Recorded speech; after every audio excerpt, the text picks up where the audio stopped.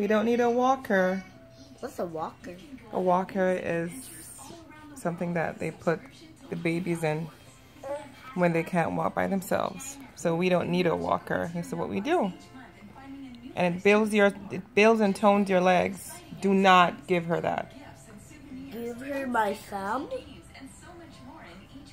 I'm good, just gonna eat my thumb. Ow, ow. That's peanut butter and pretzel. Ow, ow, ow, ow. Ma'at. Right? Ma'at. Right? We don't use walkers. This is what we do. Right? And she's having fun.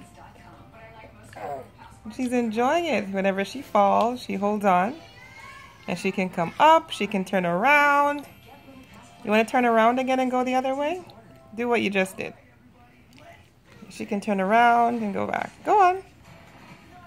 She can jump. Right, mommy? Yes. Um, and she can crawl. Yeah, but I'm talking about her standing up. This is supporting her.